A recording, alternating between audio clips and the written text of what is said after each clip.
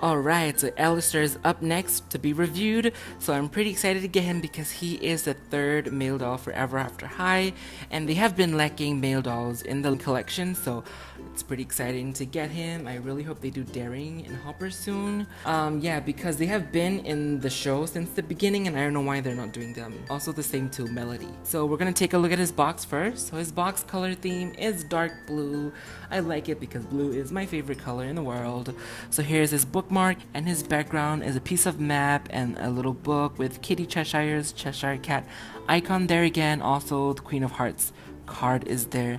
Oh, and um, the Mad Hatter's head is there, so he's representing all the others Wonderlandians, and it says Son of Alice, Alistair Wonderland, and his little icon is a book, and then it has a Queen of Hearts card and the little stopwatch from Bunny's box. So, and here is the back of his box, so you can pause and read it if you'd like for his little um, Q&A session. And here's his complete profile art.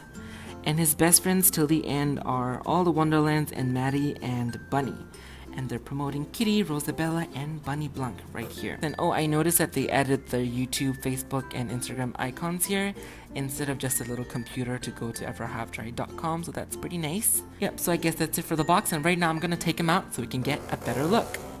I did not fart, that was that sound. So we have Mr. Alistair here out of the box, and, and as I've said in my previous review, his uh, bookmarks are not easier to take out because they're just slide in there and they give you plenty of space to cut them up. So of course he comes with his bookmark. Uh, um, his charm is a little blue compass with a gold chain on it. I really like it. And here is the doll himself. So he is very good looking. He looks really charming, though he is not a charming, if you get the joke.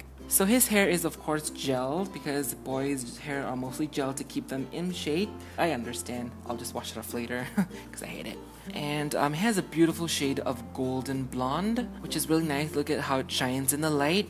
And he had these piercing blue eyes, a great smile, and and I'm not sure if he has a unique face mold or not. He does look kind of similar to Dexter's face mold, but I could be wrong. He could have a different face mold, just similar maybe. And moving on to his outfit, so he is wearing this jacket, uh, which looks really nice. It's kind of blue, but the swirls are like kind of greenish teal color to it, and has lots of teapots, um, like spades from the card game, uh, lots of swirlish thingies all over his shirt.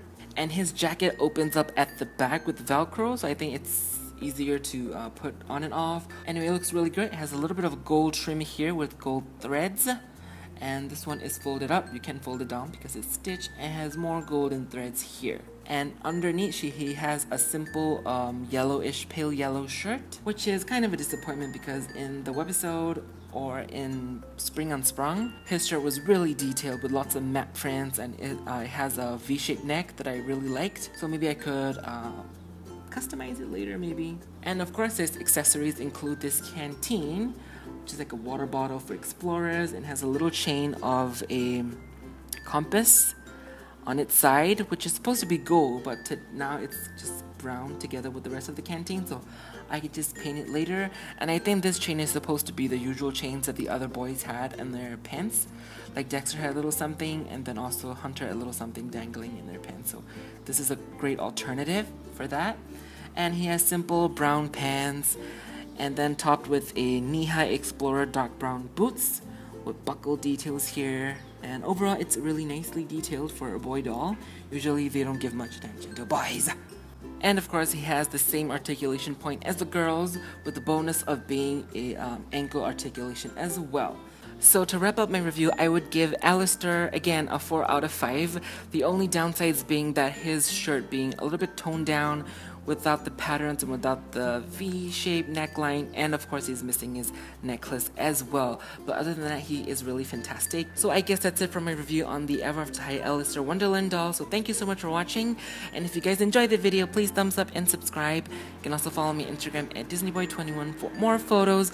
But right now thank you so much for watching and I will see you all soon in my next video. And of course these two are gonna have some nice time chatting once because they're finally out of the box. So gonna give them some privacy. So bye. I'll see you next time when I review Darling.